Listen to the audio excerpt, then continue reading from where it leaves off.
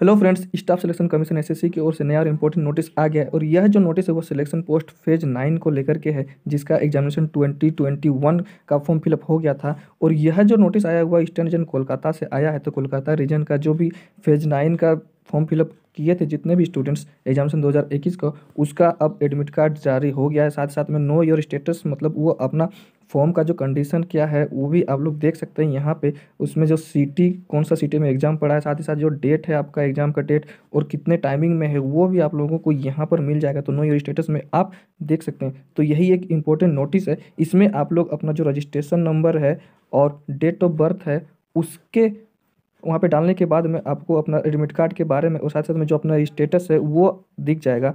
तो यही एक इन्फॉर्मेशन है एसएससी ईस्टर्न कोलकाता की ओर से तो जितने भी candidate selection post phase nine का फॉर्म फिलअप भरे हैं, एग्जामिनेशन 2021 वाला, वो अपना एडमिट कार्ड को देख सकते हैं। साथ ही साथ में जो ये उनका फॉर्म का जो कंडीशन है, अभी कहाँ पर पहुँचा है, उसका एग्ज़ाम कब है, कब नहीं है, वो सब सारी जानकारी आप लोगों को यहाँ पर मिल जाएगा। तो जितने भी कैंडिडेट्स हैं, वो अपना एडमिट कार्ड और साथ साथ में स्टेटस को देख सकते हैं। तो जितनी जल्दी हो सके आप लोग अपना तैयारी करना शुरू कर दें और साथ ही साथ जहाँ भी सेंटर पड़ा है तो वहाँ के लिए अपना जो भी चीज़ें हैं, ज़रूरी चीज़ें, वो सब आप लोग करते रहिए और एग्जामिनेशन की जो तैयारी है, वो भी करना शुरू कर दें, क्योंकि सिलेक्शन पोस्ट फ़ेज़ नाइन का अब एग्ज़ाम शुरू होने ही वाला है एडमिट कार्ड रिलीज़ हो ही गया है और स्टेटस भी ईस्टर्न कोलकाता से आने लग गया है।